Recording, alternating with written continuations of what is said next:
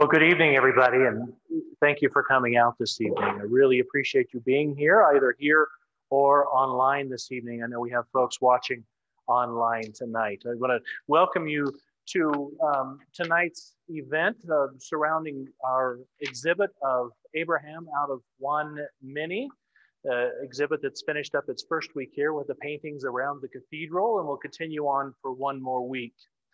Tonight, I'm pleased to have um, our local author here from who has written Cowboys and East Indians.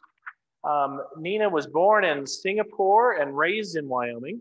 She earned her MA from the University of Wyoming and her MFA at the University of Houston. Her short story collection, Cowboys and East Indians, was the winner of the 2014 PEN Open Book Award and a High Plains Book Award. Her work has appeared in the New York Times, Orion, Virginia Quarterly Review, American Short Fiction, and the Asian American Literary Review, among others. She teaches at the University of Wyoming, and in 2019 and 2020 was the Walter Jackson Bate Fellow at the Radcliffe Institute for Advanced Study at Harvard. So tonight, Nina's going to do a book reading for us, followed by discussion and some questions. And uh, welcome, Nina.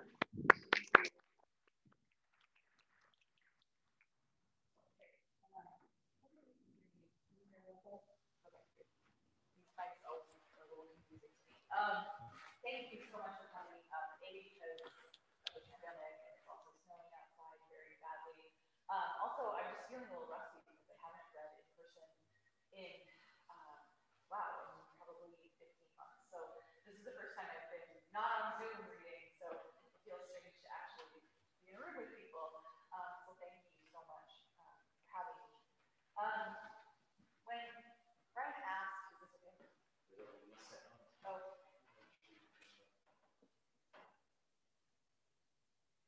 Is that okay? There Is that better? go. Okay. Um, sorry. I'm really bad with technology. Any of my students will tell you that. Um, when, when Brian first asked me about doing something in conjunction with this, with this exhibit, I, I first sort of paused because I thought, I don't really know how my book connects to the, to the exhibit. And um, I was a little, you know, I was a little unsure. And then I, I read about the exhibit and the idea that um, out of one come many. And I loved the thought about thinking about how many, you know, even though my book is not religious, thinking about the, the sort of the way that traditions work and the way that um, many different people there can be there can be commonality in things. And i think I, I write a lot about race i write a lot about wyoming and um, these are questions and things i think about all the time in my writing. Um, i don't think i sit down and, and start writing and think i'm going to tackle these big issues but um, i definitely there, are themes that come up again and again in my writing and, and definitely um, race and sort of belonging and identity are things that um, it wasn't until i put the book together i realized were in every single story. So um, I haven't read in a long time. I haven't read from this book in a long time. Um, so I'm pretty excited to read. I'm just going to read an excerpt um, because if I read a full story, it's way too long and you'll be really bored. So um, I'm going to I'm to read from the story called Pomp and Circumstances. I sort of picked it for a specific reason, and I'll talk about that after um, after I, I read. So it's just an excerpt. I think um, if you want to know what happens, I'm happy to, to tell you later, but um, I don't think it's any, any great mystery. Um, but I like it because it's sort of a Laramie story and a Casper story, so my two homes in Wyoming. Okay, pomp and circumstances. The Shirley Basin seemed to be a big stretch of nothing that fell between Casper and Laramie. There was no cell phone coverage and not many houses except a few small ranches slipped between strips of cottonwood lined creeks and the bases of rising hills.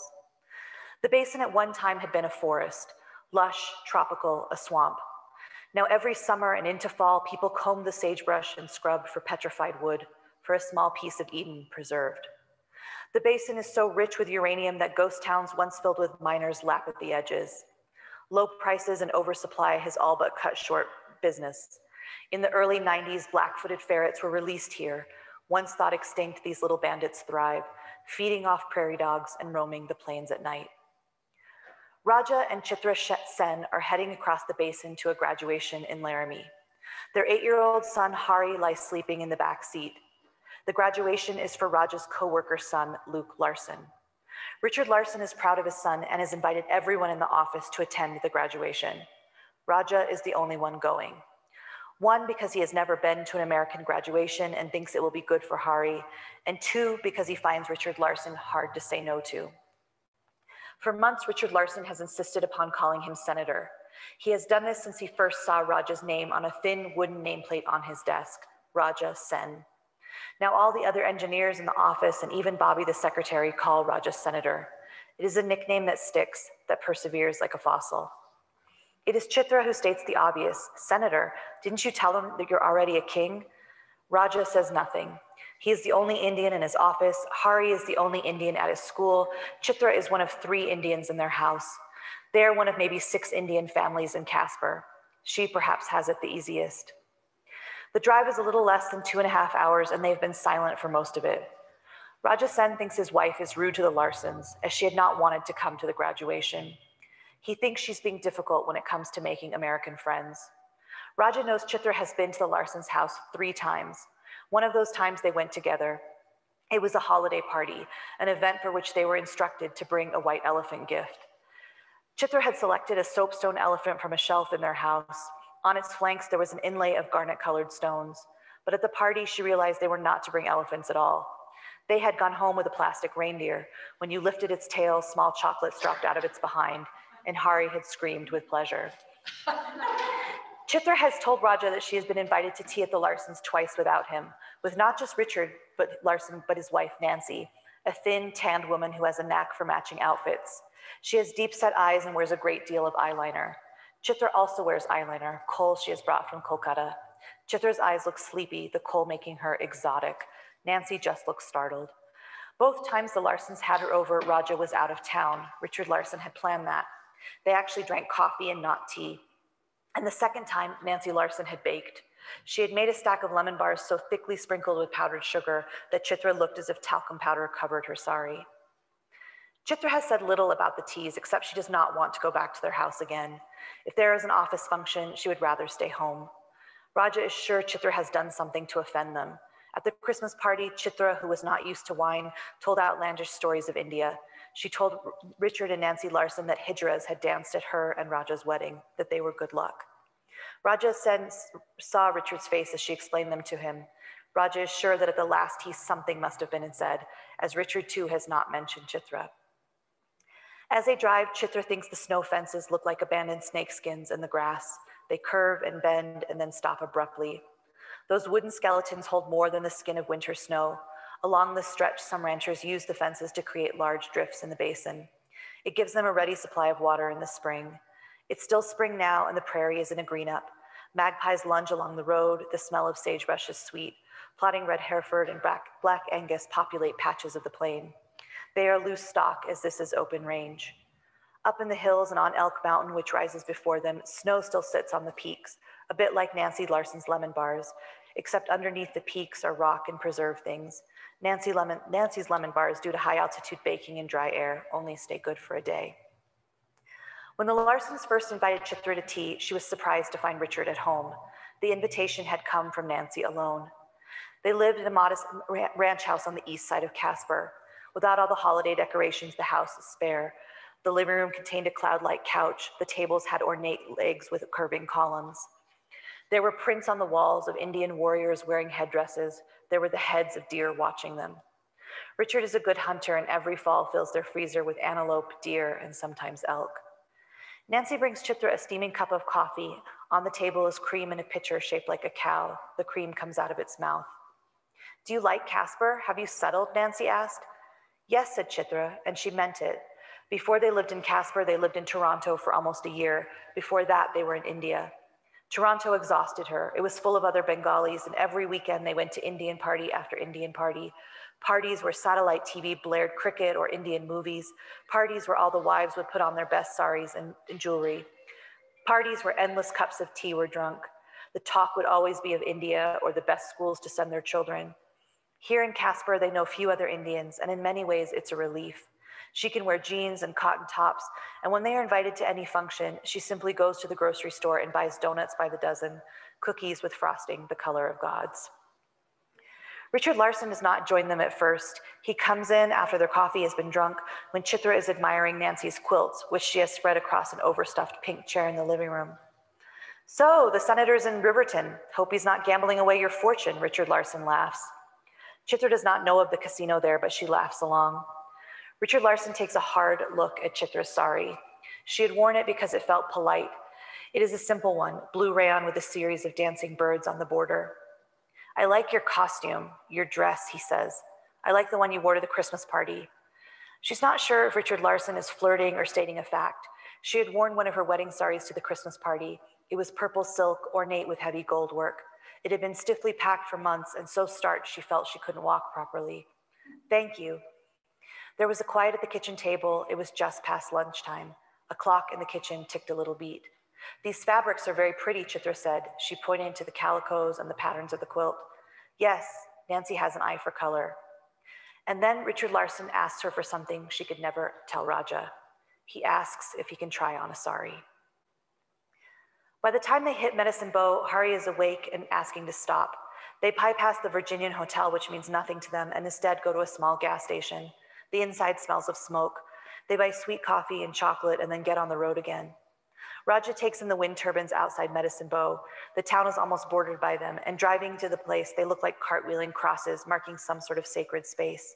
He thinks he's clever to think this and begins to tell Chitra his observation, but instead tells Hari, Do you see those crosses? Hari scans out the window of their Honda and says blankly, They're wind turbines. His class has been learning about green energy at school, and turbines are the newest point of contention in Wyoming. Some say coal bed methane brings up salty water and that wind turbines ruin the view that so many flocking to Wyoming crave. They look like crosses, no? There is a church near their home in Casper that has three large crosses like sentries posted outside the building. When they first drove by it, Chitra and Raja had thought they were drying clothes on one of them, as purple cloth was draped on the arms like shawls. Chitra squints out the window. She sees a pump jack. And that fellow, he looks like he's bowing to Allah. Prayers abound on the prairie for them. They continue the drive the pump jack pulls up more oil. When Richard Larson asks if he can wear a sari, Nancy Larson leaves the room with a handful of quilts in her arm like a shield. You want to see a sari? Chitra's not sure what to make of his request. Richard Larson laughs nervously. I'd like to try one on, if that's okay. He has lost the bluster she has seen in the office. He looks at his cowboy boots, which are ostrich and stippled like a pimply face. You mean Nancy wants to try one on? Chitra is still confused and wondering if this is a kind of trick she wonders if this has something to do with Raja at work. Richard Larson is embarrassed, but then he gains back some of the bravado she has heard when he calls the house looking for the senator. It's like those people you talked about in India at the Christmas party. Um, sorry, at the Christmas party. Chitra thinks back to the holiday party. She remembers the white elephant drinking glasses, glasses of wine the color of rose water, but she doesn't catch his drift. And then she remembers her talk about hijras and how she found them happy while Raja found them a nuisance. Chitra, I'm going to show you something. He pronounces her name Chitra. She follows him into the basement, past a pool table, and more deer watching them in a solemn line. He takes her into a room with wood paneled walls. The floor is concrete. In the room are several large safes, or what Chitra thinks are safes. This is where I keep my guns, he says, pointing to a safe. Kids, I told the senator if he takes up hunting, he needs to get something like this. You don't want Harry there getting into guns. Nancy and Richard Larson have one other child besides Luke, a girl named Gretchen. She is in the army and stationed in Germany. There is a narrow door with a lone padlock on it in the room. Richard Larson takes a ring of keys from his pocket and opens the lock. It's a small room, meant at one time as a kind of pantry. Inside is a little vanity with an oval mirror. A bench is tucked neatly in the middle. On the surface of the table is a wide array of makeup, compacts, eyeshadows that look like an artist's palette, brushes of all size, sizes, lipsticks lined up like bullets. There is a full length mirror next to the vanity. It is also oval and swivels on its, mirror, on its wooden base. A stained glass floor lamp stands in the other corner, and next to it is a plush chair. But unlike the cloud chairs from the living room, this one has a Victorian feel. It's an elegant chair, light mauve with a kind of paisley pattern. It's not a Nancy Larson chair. There are framed paintings on the wall, and again, they are different. They are of flowers, of English cottages with thatched roofs. But the thing that delights her most is a metal bookcase. Lined up are mannequin heads all in a row. On each of the heads sits a blonde wig in various hairstyles, a straight bob, a curly bob, long Rapunzel-like hair, and a cut with layers framing the face. The mannequins line up and look like the deer heads they passed on the way into the room, watching and taking it all in. Chitra does not say anything because she is genuinely unsure of what to say. This is a condition she felt a lot in Toronto, but since being in Wyoming, she has lost this to some degree. She appreciates having not having not having anyone ask her why Hari is losing his Bengali, why she now cooked burgers, and didn't she know Japanese cars were the way to go. Richard Larson walks back into the room with the safes and turns the dial of one. Chitra, Chitra half expects he's going to show her his guns as if they're similar to the display of makeup. But when Richard Larson opens the heavy door of the gun safe, it's, is it, it's, it, it is if like he has opened a closet. Inside is a rack of dresses. They are beautiful. They are the kind of dresses she had seen on TV, the kind of dresses as a little girl in India she thought American women wore. Her biggest disappointment since arriving in Wyoming is seeing how sloppy women are. In the grocery store, she marvels at the loose sweatpants and stained winter coats most women wear. She had to give it to Nancy Larson. She is matchy, but she dresses well. But there are dresses with sequins that look like silver fishes. There are taffeted dresses in which the fabric whorls in discreet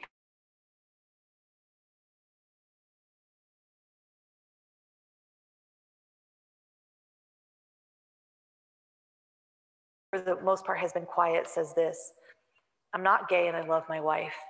Chitra nods. Nancy has known about this since we got married. That's 24 years now, and she's okay with it. You have to know I'm not gay. I just like to put these things on. It's not like your country. People don't consider it lucky. Chitra touches the pink satin dress. It's strapless with a large bow on the waist. Along the hem is lace. She wants to explain the complexities of hijras, their place, but instead she strokes the dress. Okay, she answers. Richard Larson sees her face. Would you like to try it on? When they arrive at the graduation, they're late. They're unsure of where to park and end up walking in circles around the university campus. Chitra is wearing an orange sari and slip on heels, and she struggles to keep up with Hari and Raja, who are both in sports coats, press pants, and ties. Do you want to go to school here? She yells up to Hari. Hari turns around and gives her a pained look. Baba says I'll go to school in India, to IIT. Why would I go here? Chitra has no answer. She knows that school, Hari's schooling, should be her singular fo focus, and that is why she's held off on having other children. Raja wants more. She thinks of the IUD she had put in in Toronto, her secret, her own broken cartwheeling cross inside her uterus. It gives her a kind of power and energy. When they find the stadium, they do not sit with the Larsons. Luke Larson is graduating in engineering. He will come back to Casper at the end of the summer and begin work at the same firm as Raja and Richard. The Sens sit in hardback seats and hold a program embossed with the logo of the university, and inside are row upon row of names. Hari plays a pocket video game. If the ceremony is having any influence on his future academic career, it does not show. Chitra and Raja watch as speeches are given, a woman sings, and the graduates file out on the stadium floor just like a movie. As they walk, the graduates walk two by two, and in their black gowns and tasseled hats, they look like walking lamps. Their faces beam, they look fresh faced and ready for the future. Chitra finds she's strangely happy and excited for these young people, for their accomplishments, for the future that lies before them. She follows their name in the program. She takes pictures of graduates she does not know. Chitra decides that day in the basement not to try on the dress. Instead, Richard Larson takes her back into the little room and shows her albums of himself in various outfits. When he wears dresses, he likes to be called Clara, and Clara, from what Chitra can tell, is demure. Everything Richard Larson is not. She imagines that Nancy Larson has taken these photos as most of them have been taken in, a wood, in the wood panel safe room. There are pictures of Clara in suits, in dresses, even a velour tracksuit. The only sari Chitra has is the one she is wearing, and so until she can next come over, she gives Richard Larson a taste of what wearing a sari is like. When they go back upstairs, she picks up one of Nancy Larson's quilts. It is a log cabin quilt, all in shades of blue and green. It is thick and awkward. But Chitra drapes the quilt around him in a faux sari. It will look like this, she laughs, and Richard laughs with her, as the, the, as the weight and the bulk of a quilt are nothing like a sari. She feels amazingly light for knowing this about Richard Larson. The secret moves inside her. Nancy does not appear again on that day on the visit. Richard Larson shows Chitra out and she promises to bring back the purple sari for him to try on. Richard Larson does not ask her not to tell Raja about the request, but she knows not to. It is unspoken between them. This kind of thing can get you killed in Wyoming. The ceremony is long, and when it's over, they meet at Luke Larson's apartment. It's near the university. The apartment is filled with other Larsons and Nancy's family who are Boyds. The Sens are one of the first to arrive, and since they have never been to a graduation party, they all sit quietly in the corner until Richard and Nancy arrive. Senator, Chitra, Harry, Richard Larson exclaims their names when he arrives. He is wearing a kind of suit with the same cowboy boots he wears most days. Around his throat is a bolo tie with a turquoise stone. He has a large elk tooth ring on his finger. Nancy Larson is wearing a flowered dress. She smiles a thin smile at the Sens. It is Raja who speaks for them. You must be so proud of Luke. Such a lot of graduates. What a sight. He's genuinely happy for Luke Larson and wishes his wife would show more spirit. Yes, yes, you must all get some food now, said Richard. He doesn't look at Chitra, which disappoints her. She has picked the orange sari because she knows Richard Larson will appreciate it. Western women seem to notice the sari's color, but Richard Larson notices the intricacies of a sari, the weave, the fabric, the zari work. In fact, Richard Larson is the only person who has asked her anything beyond, are they hard to wear? When Chitra goes back to the Larsons, she brings a suitcase of saris. She has the purple one from the Christmas party, but she also packs a variety. For fun, she puts on a salwar kameez and a box of uh, brings a box of jewelry, which she has removed from the small safe in the cupboard in their bedroom. It also holds their passports and visas. Nancy Larson lets her in, and again they have coffee alone. They eat lemon bars. Chitra finds herself driving the conversation, and they do not mention the purpose of her visit. You must all be missing Gretchen, so far away, she asks. Yes, but we email. The clock's ticking punctuates her sentences. Nancy Larson is not a talker. Richard appears as they're finishing their coffee. This time, Raja is in Cheyenne, but will be back later that night. How do you like this weather? He asks. It's been snowing on and off for day, a few days, and the streets are a slushy mess. Chitra is still new at driving, and Richard Larson knows this. I have to get a big broom to clean the car, and I wear boots. Chitra lifts up her sari to reveal a new pair of brown leather boots. She had put on a sari especially for the visit, but she had spent the week in jeans, jeans and sweats. Suddenly, she understood the women at the grocery store. Chitra motions to the suitcase. I've brought many choices. She walks over and opens the suitcase and begins to spread the saris out on the same chair Nancy showed her the quilts. She unfolds the saris to show the pallus, which are rich in decoration. She has a Kanchipuram silk sari, a handloom sari, a blocked printed sari, saris with fake crystals affixed to them in patterns like stars. She likes showing someone her clothes. In Toronto, she worried her saris weren't fancy enough, but here, spread across the upholstery, they look sumptuous like wealth. Richard Larson takes it all in. He runs his head, hands over the silks, the cottons, even the rayons. He is quiet. It is Nancy Larson who breaks the silence. I could make a nice quilt with those, she says. The party is tedious. The first wave of family has been replaced by a second wave of Luke's friends. They are polite and well dressed and dig into the food with glee. Nancy Larson has brought trays of cut up vegetables and cheese from Walmart.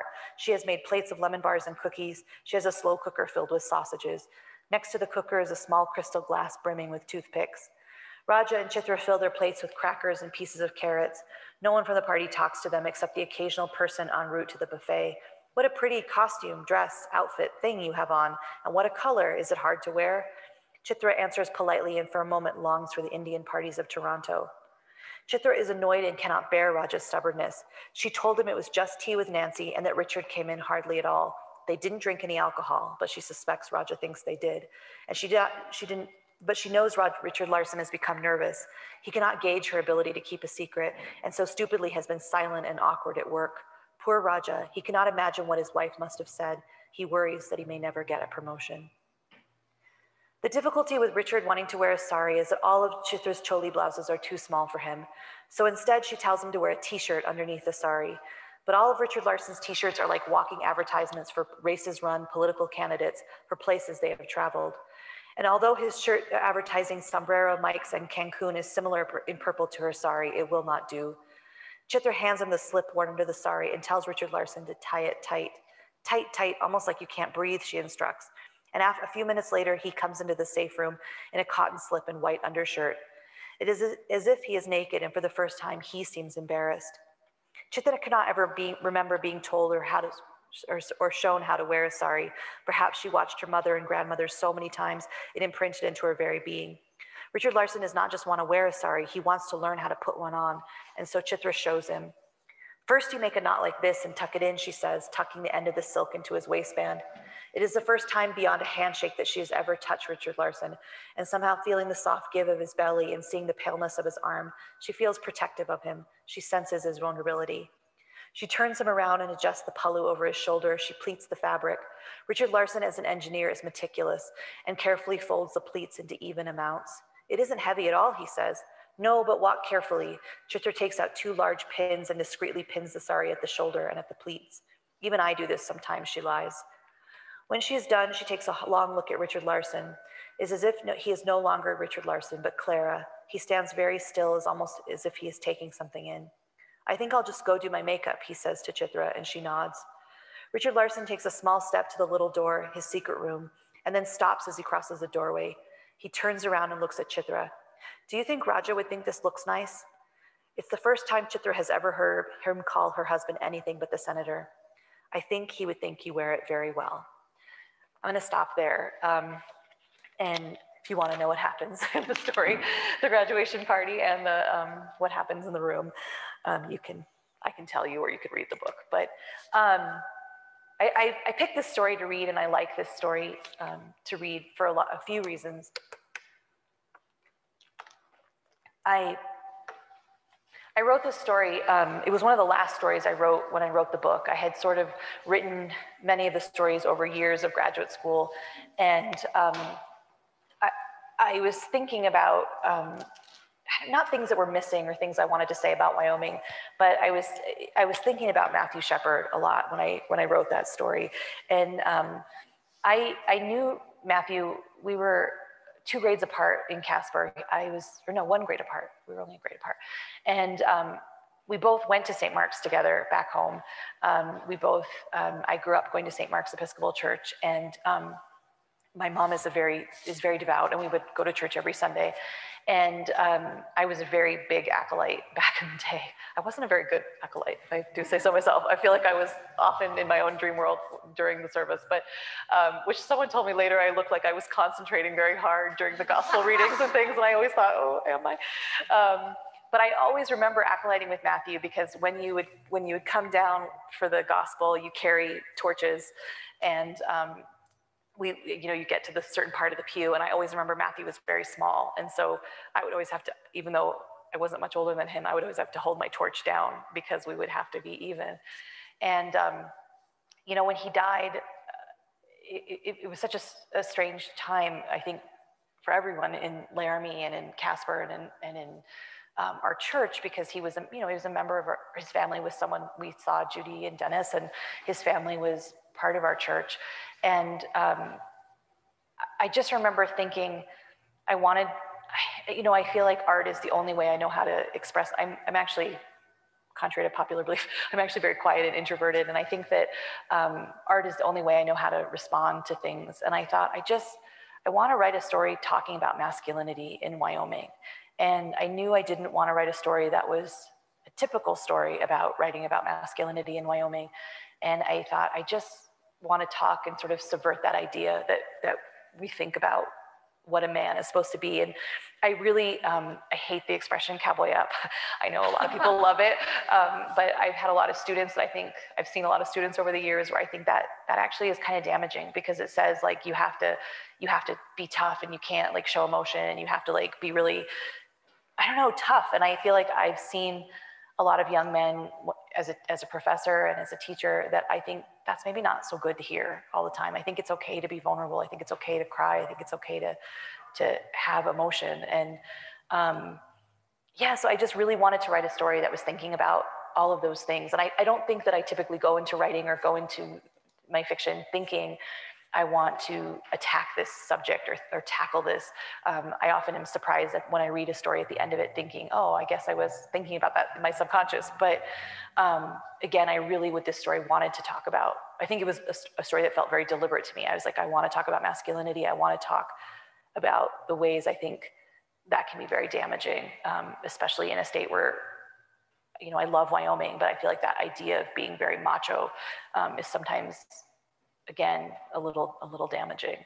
So um, yeah, I wanted to read that story tonight partly because I was, I feel like whenever I'm in the church, I think about um, our confirmation class, how we visited St. Matthew's as a field trip. And um, I barely got confirmed. I rem- I actually feel like I was ter- a terrible. I, I don't think I was that delinquent as a, a youth, but I remember there was a, a, multiple choice question we had to do, and it said, "What is a bishop?" And I put a chess piece that can move diagonally. and I remember my priest, our poor priest, like looked at it. He's like, "Nina, you know it's not a chess piece that can move diagonally." And I just thought, "I know," but um, that's that's the kind of kid I was. Um, so I, I, and I also remember, I'll tell one last story and then I'll be done with my terrible, my delinquent youth. But um, we had had a lock-in in the church, which I don't know if they do those anymore, where you like stay up. I mean, it's a terrible idea. Like you stay up all night, you're like eating tons of pizza and sugar. And Matt was there, and there were a bunch of us just running around. And um, I had to acolyte the next morning at, at like the 8:30 service, and I remember just being. I mean, I, I don't think I ever did pulled an all-nighter ever until that night, and I was holding the torch. I don't even know why I didn't put it in its holder, but I was holding the torch and I completely fell asleep and just dropped my torch onto the, dropped on the altar and like nearly started a fire. And after that, I took a little break from acolyting. So I feel like I, I always um, laugh at my misspent youth uh, in the church. But um, again, I, I, wanted to talk about that in this story quite a bit. So, or I wanted to think about all those ideas and things from my youth. So I think Anne's gonna come up now.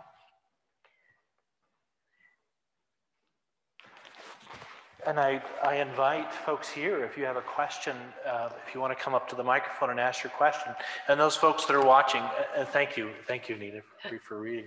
Those, those that might have a question online, if you will just type those in and then they'll send me the question that I can ask Nina. So does anybody have any question or comments or anything that you'd like to say? Please feel free to come and no forward. pressure. No pressure.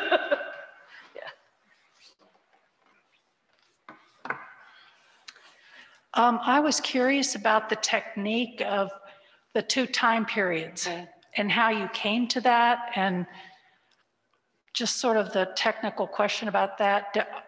I would assume your, all your short stories don't do that usually. No. uh, Yeah. uh, quite a few of them are just in present motion of moving Yeah, yeah. linearly. Yeah, I, I don't, I'm really drawn to time more and more. I, I'm right, I'm finishing a novel right now. Um, finishing a novel right now, almost finished with a novel right now that um, has many timelines. And I, I think I'm just drawn to writing about the past in a lot of ways. Um, that is a very distinct timeline of 1954 and 1986, present day. But in this story, I, I tried to write this, I mean, I tried to write the story all just from one day of her going to the house and it didn't really work. I felt like it just didn't seem like it had the energy and I wanted something in the present that put pressure on the situation. And I feel like as the reader, I, I was like, there has to be some tension in the story. And the tension, I think the tension as a reader is just like, is Raja gonna find out at this graduation whether or not what actually happened at the house? Because he thinks something weird is, has happened. And I think also for the reader, I know a lot of people that aren't expecting the twist that Rod, Richard wants to, to, you know, that he likes, that he cross dresses and wears women's clothing. And I think a lot of people um, are expecting him to make a pass at her, or there's some other, they think something else is going to happen. And so I guess I kind of liked playing with the timelines because it, again, just puts tension on the story a little bit. Um, yeah, and I, I, you know, I had so many versions of the end of the story as well, like where, and I had versions where the little boy was with her when she was at the house and it did, I, I didn't like that either. I felt like he was actually too extra, took him out. But um, yeah, I, I like the idea of going back and forth more, mostly for tension, I think. The idea of putting sort of pressure on the story, I guess. We have a question online. Um, how did Matt's murder change you and, uh, and Judy Shepard's response? Did, how did that change you or did it? I mean, I think it, well, I know it changed me. I mean, I think it changed so many things. I, I think, to begin with, I think, I mean, this sounds terrible to say this, but I think I'd always felt like the othering had, for me, had always been about race, and I hadn't thought about other ways that people are othered. And I think, um, you know, I was quite young when he, I was 20, 23 when he when he passed away. So I wasn't, you know, I think for me, I, I hadn't thought about, I mean, I had a lot of gay friends in Wyoming, but I think for me, a lot of them, I did not know one that was out in high school. Um, absolutely not. I mean, it, it was not a shock to me. Well, it was a little bit of a shock to me. At my 20th high school reunion, to realize how many people in my class were gay that did not feel comfortable to, to be open. And, and I remember at that time also teaching at the university. Um, I was teaching my very first graduate classes as a graduate student. Um, and knowing, um, again, like I didn't know how to talk about that murder with my students. Like I didn't know how to talk about difference with my students. I didn't know how to talk about anything that seemed contra controversial. I didn't, I was scared to talk to about in my, in my classroom. And I think that murder changed my fear because I all of a sudden realized like by being silent, you're being complicit.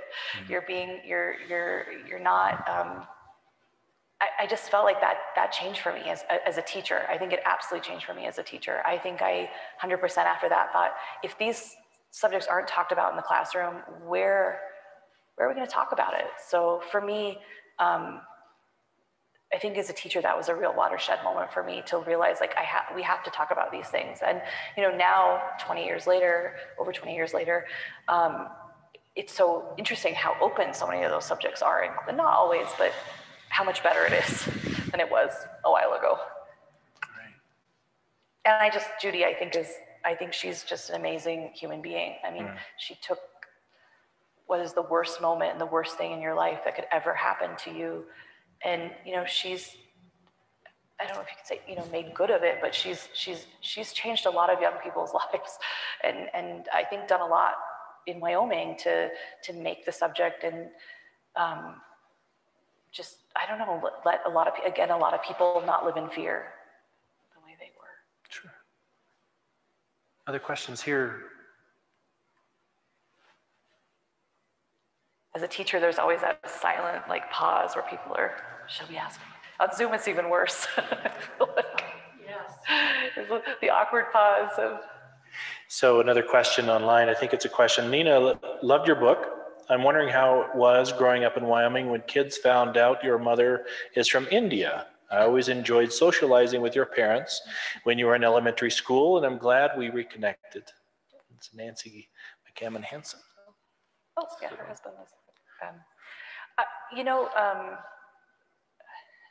I think, you know, first of all, I mean, I play with this a little bit in my book. I think Indian is a funny word in Wyoming because it's loaded with a lot of a lot of um, thought towards more indigenous peoples. And for as a kid, I would definitely um, dress as a I, I, mean, I think back now and I want to cry because it's so culturally appropriating, but I, I often was um, a Arapaho or Shoshone for Halloween or, or, various other things because I just thought I, I, it, I associated with it because I felt like I was Indian in a funny way. Um, so I would sometimes tell people I was, I don't know why, I would tell people, it would just seem easier to tell people I was indigenous or Native American rather than Indian Indian, because that seems such a complicated thing to explain. Um, but I think growing up Indian in, in Casper was, I mean, it was fine. I think, you know, it's just, I think one thing about when you're a color in Wyoming is just every room you go into, there's usually, you just never see a reflection of yourself. And mm-hmm. I feel like that is something I'm very used to at this point. Um, but sometimes it can also be tiring. you just think, okay, like I'd love to see another another person that looks like me or reflection of myself. Um, and I'm very aware of that now because I have a daughter and I, I think about what she sees and I think I want her to, and, and Laramie is better than a lot of places, I mean, mm. in terms of diversity, but um, my students tell me that and I sometimes laugh because I'm like, it's not that diverse, but um, comparatively, you know, if you're walking around the UW campus, it, you do see people of color. Right, right. Growing up in Casper, uh, myself, um, other for me was the other kid that had the really strange haircut. Um, everybody else looked like me, so um, that's, that's what I grew up with. Um, another question, would you consider coming to Northwest College in Powell to do a reading presentation? Gosh, I have done one in, in, Powell a few years ago. It was, it was great, great actually. Uh, beautiful facilities there. Um, I mean, I love going around the state. I, I feel like um, it's always interesting because I, I do a lot of book clubs around the state and people, a lot of my friends are like, why do you do book clubs? Like that seems like such a, like that seems like a lot of work for, I don't know. But I really like, I like doing book clubs. I like talking to people that, I mean, I've gone to a lot of book clubs where I've, the group has been white. And a lot of them have said to me, like, I've never thought about race in Wyoming. And I think, well, yeah, you haven't had you haven't had to Right. think about race in Wyoming because you're you don't have to. You don't have to. And um, and so I'm always kind of happy to go around and talk about. I don't know. I think you know there are a lot of people of color in Wyoming. I mean, not a lot, but there are people of color. There are people that are different. I mean, there are many ways to be othered. I think um, we're not all one cowboy. I don't know, like the stereotype of all one cowboy Sure. thing. Sure. I, and you mentioned this, I, when I, when I read the book, I, in my mind, all the stories were going to be about um, uh, Indians and Wyoming. And then the story you read tonight, just realizing that we're, we, we're not only other by the way we look, mm-hmm. but some of the mannerisms and behaviors that we have that living in Wyoming, many of which we keep secret mm-hmm. and all the different things that we might keep secret because of how other people might feel or treat us. And, and I've got to ask you this question because it's from your mother. Oh, Are you going to offer to acolyte at St. Matthew's? You know, she has said that a few times, and I've said no every time. I've been like, I would need to be retrained, but uh, no, I uh, would not acolyte. I, I, I'm terribly, still probably delinquent. We could put the torches away. Oh and, uh, God, yeah. I mean, the clang of that hitting the altar, I'll never forget. Woke me right up.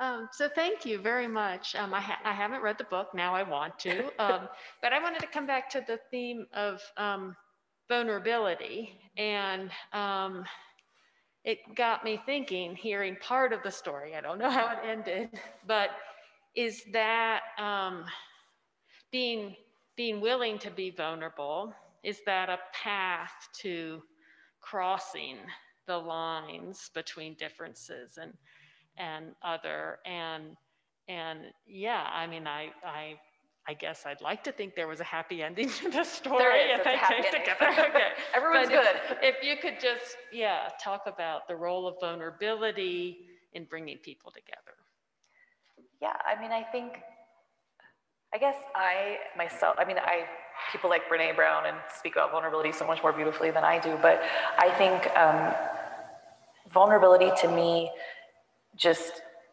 I feel like that's the only way you know people. I, I feel like when people, again, when you cowboy up or have this bravado, you don't see people's true self and be vulnerable. And I, I guess I'm very willing to be very vulnerable to people and say my faults and say the things that are, um, I, I, don't know. I don't, and I think vulnerability brings empathy. And I think um, I believe so strongly in being empathetic. And I think that um, I don't know. I, I, I just I, I, I, feel like in writing a character like Richard Larson, who starts with a lot of bravado and like he's such a showboater and he's so, um, she thinks of him as one way, but like, you know, clearly he has this other part of his life that is so important to him and, and he's willing to share it with this person that he actually doesn't really know very well. Um, because, you know, she talked about, hij- so hijras, and for any of you that don't know, they're a third gender in, um, in India. They're not considered men, they're not considered women um, when you see a hijra, they're um, typically men, and they're originally they were.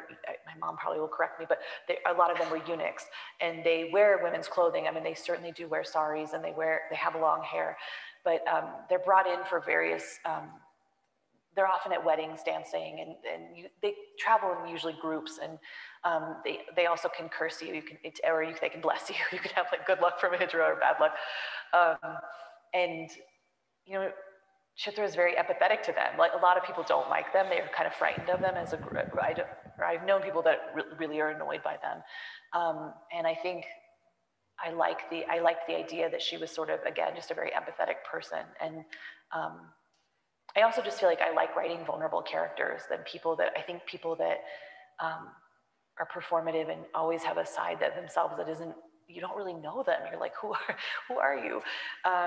So I appreciate vulnerability. So I think I think I tend to write characters that are that way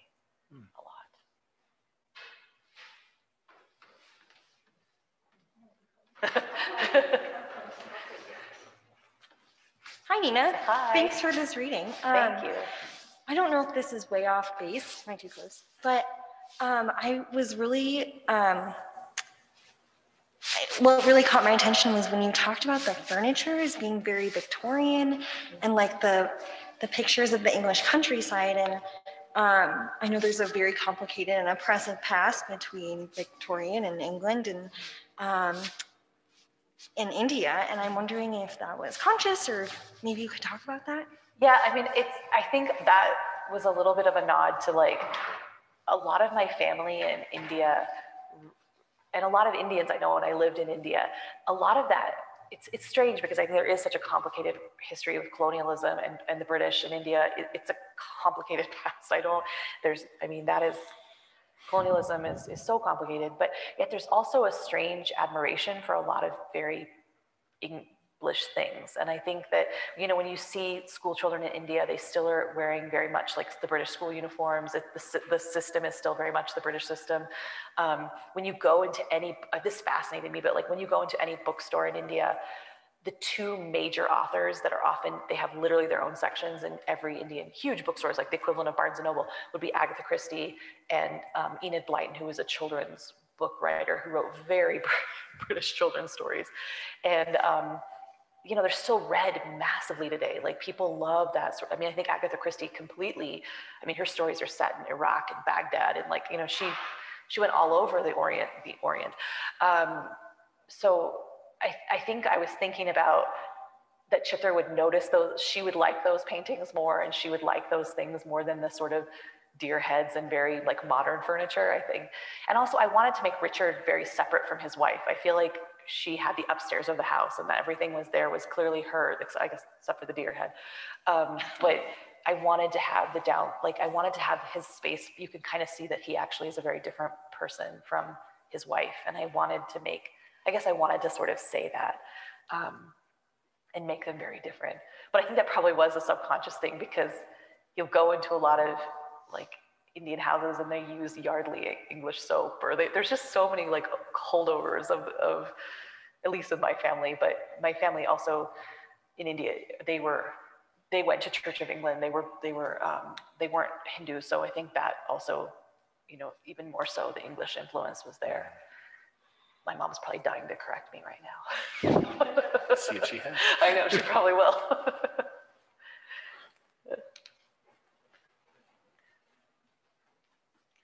So I had met you, Nina, years before I read your book, and I couldn't help with each story and each character wondering um, if there's a specific um, either experience or character that you feel really represents um, or expresses you as Nina throughout the book. Yeah, I mean, I think I have two answers to that question. I think one thing is, you know, when you're writing short stories, you're writing them over a period of time and you're not putting them together and thinking of them as a collection. And it was only when I put it together the first time for my thesis. Um, and then maybe a couple, two years later, I was here back in Laramie teaching and I was trying to put the book together in a book book. And um, I noticed that every story that was a young woman was told in the first person point of view.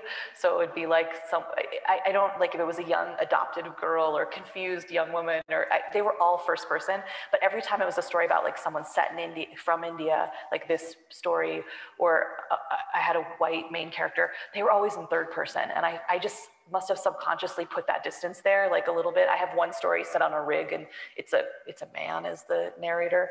And my dad's a geologist and he works on many rigs. So I mean, I know that world really well, but I think there was some part of me that just distanced. But it is funny because I think all the first person stories are very much me trying to work out identity quite a bit. And um, I, right when the book came out, I did a talk at Stanford, which was very overwhelming because the students are very smart. And these two young women got up and did a presentation on my book before I spoke. And I literally started taking notes on things they were saying. I was like, oh, that's very smart. Like, I literally started taking notes because I was like, I didn't know I was doing. I mean, it was just so fascinating to hear. But they talked a lot about how, like, I have clothes in every single story. Um, and they were like, there are people wearing clothes, taking off clothes. Like, there's always cl- clothes. And I, and I, like, I, I didn't notice that, but I guess, you know, clothes are the quickest way you have identity. So it made sense that that was, I guess, in every story, but I just, I didn't even think about it. And um, it was really fascinating to hear them talk about like, clearly these are like stories of like confused, like confused woman. And I was like, that's probably right. I guess like that would be me. I'm confused. Um, you know, it helped. Writing the book helped be less confused. I think for me, at least. I think making art for me makes me feel less confused. You know, feel better. Hmm. Tries to anyway. Other questions here?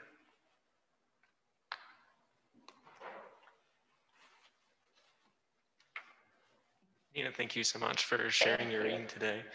Um, I think the, at least of the excerpt that you had shared, I haven't read your book, but I most certainly will now. Um, I feel the stories of vulnerability um, touch really deeply with my own heart. And um, the ways in which I feel stories of vulnerability have been expressed in like modern film anyway, mm-hmm. it's very gloss, glossy and very happy. And it seems like there's no points of conflict like people are just fully embracing of like right. whoa you're open about all these these things and wow we're fully accepting and that's just not particularly how our society is and so i find it's so so interesting um, nancy's character mm-hmm. in this so if you could maybe describe your intentionality behind nancy and maybe his her relationship with richard yeah i mean I, I should say that the bones of this story are based on a true story. Um, and so I knew a couple that this was the case, or, or I just, though he was quite open about it to everybody, I should say, and it wasn't a, it wasn't a secret. Um, and I think I wasn't as fascinated with him. I was fascinated with her. I thought, you know, um, because he was living his truth and being very open and like, and I I, wanted to make this story that I didn't want it to be open in the story. Um, I, I don't know why I chose to make it more quiet, but I, I think about love and love in its various forms. And, and I think, um, I mean, I haven't been married that long myself, so I don't know that I can answer this 100%, but I think, you know, marriage is very accepting of other, like you accept that person and you accept who they are as a person, you hope. And I, I feel like she, Throughout the story, she's very peripheral. She doesn't, though there is a scene where they all, she puts Nancy in a sari too, when she puts Richard in a sari, and Nancy sort of gets into it a little bit more. But um, she's pretty much on the side. She takes pictures and like that's it. And I think actually the tension of the story at the graduation is at one point in the graduation, she hands Raja the camera. It's a digital camera. This was obviously the story is dating itself now, but it would be a phone. But um, she hands Raja the camera, and and you think she hands it as a mean thing. Like she wants Raja to like look back and look at the picture, like look at the pictures of them and the and give the secret away. But um, it isn't. I mean, Raja doesn't end up looking back in the photos. He doesn't see. He doesn't know by the end of the story. He still is in the dark. And um, you know, I, I figured I tried to figure out different ways, and I didn't want to make her a mean character. I wanted to make her just, you know, this is her husband, and this is who he is, and she loves him, and that that's okay, you know, and I, I didn't, um, I don't know, I guess we all have secrets that our spouses know or our partners know. And um, yeah, so I, I, I, I, struggled with her a little bit because I didn't know whether to make her more prominent or make her more talky. And I, I, in the end, I felt she should be kind of in the background, but because I think Richard seemed like a big character. But, um, but I also like love that she loves that about her husband too and is okay with it. Like or at least in my mind she was in creating the story. I don't know how the real life situation panned out 100%.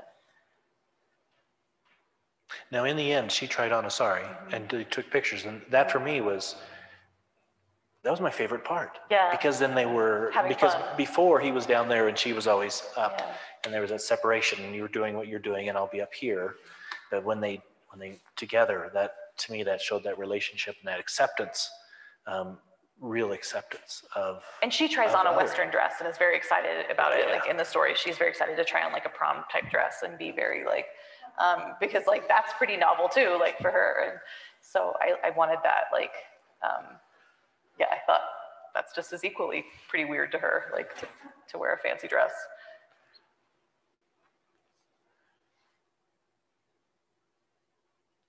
Hmm, Thank you from somebody online. Thank you for reading. Thanks. Any other questions here for Nina? Hi, Nina. Hi. Um, so you got your MFA at the University of Houston. I was wondering how your time in Texas influenced writing this book. Um, A, I think I have, I mean, I used, ugh, I used to think it was easier actually to leave Wyoming to write about Wyoming. Like I was, I had this like James Joyce thing in my head, like he had to go to Paris to write about Ireland. And, um, but then I actually found I actually write really well in Wyoming. So I've come back. I like, I like being here to work. Um, but I think I specifically went to Texas because um, I wanted to work with an Indian writer. And I think that is something that um, I had been in a lot of I had done an MA here, which they didn't have an MFA at that time. And um, it was great. And I loved Alyson Hagy helped very much the beginning shapings of the book. Um, but I really felt for myself, I wanted an Indian woman in particular to help me write the book. And um, Chitra Divakaruni is uh, Banerjee Divakaruni. She, she teaches at the University of Houston. So I feel like Houston was the very first time I ever lived somewhere where there was a huge Indian community. And um, there's a, like, there's a little India there. And um, especially the suburbs of Houston are just so many Indians. And um, I was just really excited to like live in a place where I could like get Indian food on the regular and like, um, you know, go to concerts and music. And, and I, I love classical Indian music, um, love it, love it. And I, um, that's hard to hear in a lot of like, mostly Bollywood type things. So that was really great about being in Houston. But um, it also was also very unnerving to me because it was the first time I had been in a place where there, a lot of, there were a lot of Indians, but I didn't realize how they segregate. And I think for me, um, because there's so few of us in Wyoming, we don't care if you're which group you're in. But there, it was definitely like the Gujaratis hung out with the Gujaratis, the Punjabis hung out with Punjabis. We're Tamil, so the Tamilians hung out with Tamilians. Like it was just very interesting. The Bengalis hung out with Bengalis. Like I did not realize how much they segregate. And of course they do because the language is completely different for every group. And um, here in Wyoming, we always end up speaking English because there is no, I mean, most people, like my mom, Hindi's not her first, I mean, she doesn't speak Hindi that well. She's, she's Tamil. And so um, it was also a little bit of a shock to me, like to realize like actually to be Indian in Wyoming is better because we all hang out together. like everybody at the university, we all like do potlucks and groups. And there it was like, you're not part of our group, you know, and it, it was a little bit strange to me to realize how much they segregate. Um, so that was a little bit of a reality check actually. Um, to realize, oh, just because we're all brown, we don't hang out. so, Um, so a question online. Many people have read your book, ask me if this is somewhat autobiogra- autobiographical. Growing up in Casper as a child, did you feel like the other? yeah, I did. I mean, every classroom I was in, I was the only non-white person, except my, me and my sister. We went to St. Anthony's as kids.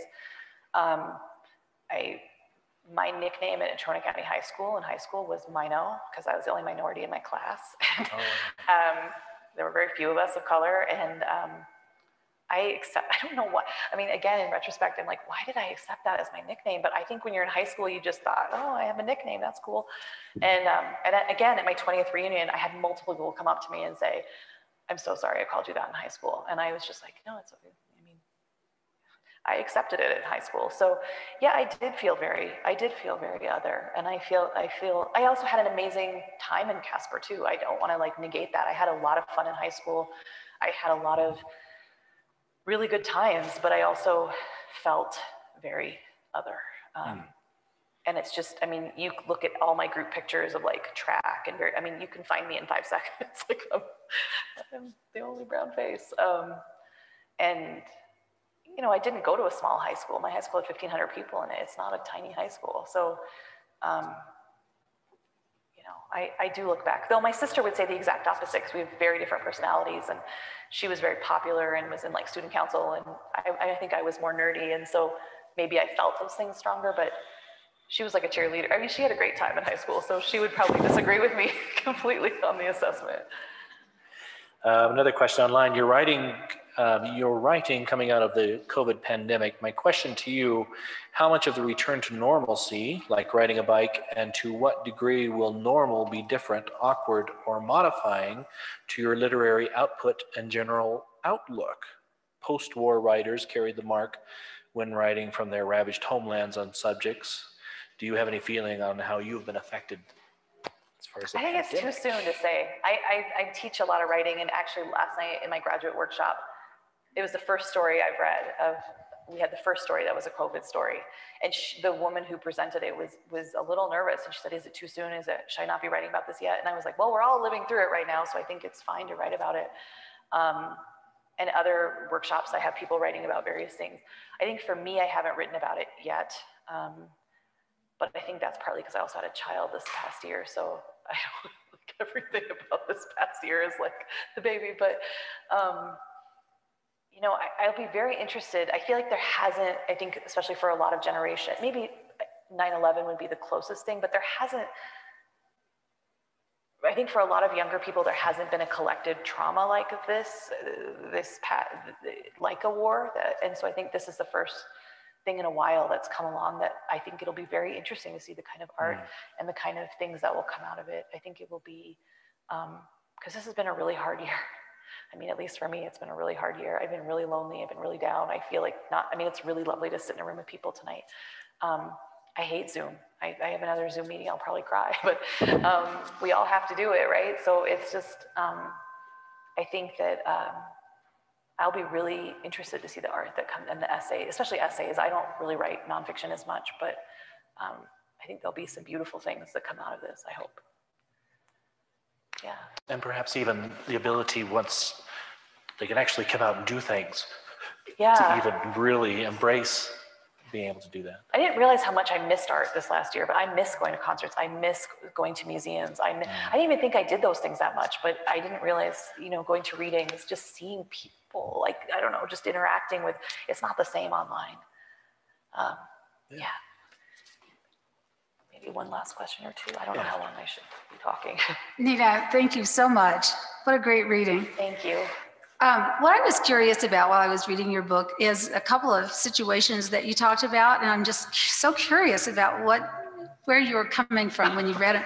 Like Delia, Oh, Delia who sews, and then the cow is hanging, or I mean, sorry, the antelope or whatever it is, deer is hanging in the over the patio, and she looks at the eye.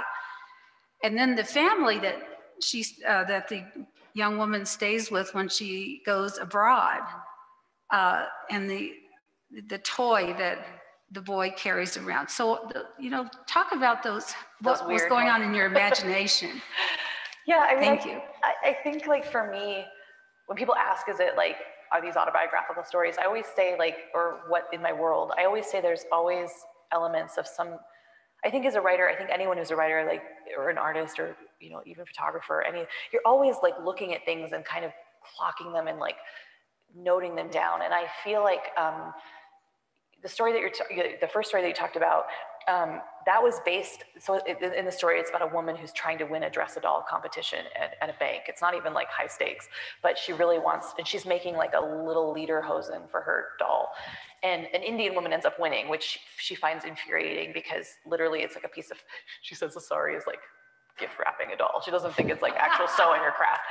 Um, but that was based on literally my mom entered a, dress a doll competition in a bank years ago. And I, I remember going to the bank with her and I don't remember if there was anyone bitter about her winning, but I remember her doll. She did literally like wrap the doll right before. Well, my mom's like going to kill me now, but she literally like wrapped some fabric around the doll right before we went, put a like spot, you know, bindi on its head, and, that, and she won.